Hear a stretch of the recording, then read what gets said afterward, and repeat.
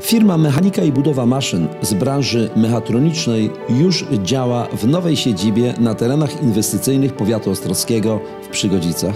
To miłe uczucie, kiedy właśnie tu może rozwijać się myśl inżynierska i mogą powstawać projekty trafiające na rynki polskie i zagraniczne. Tymi terenami jako miejscem lokalizacji swojej firmy są zainteresowani kolejni inwestorzy.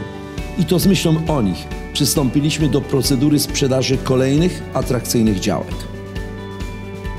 Tereny inwestycyjne powiatu ostrowskiego. Jeden właściciel, 100 hektarów, tysiąc możliwości. Tysiąc możliwości. Możliwości.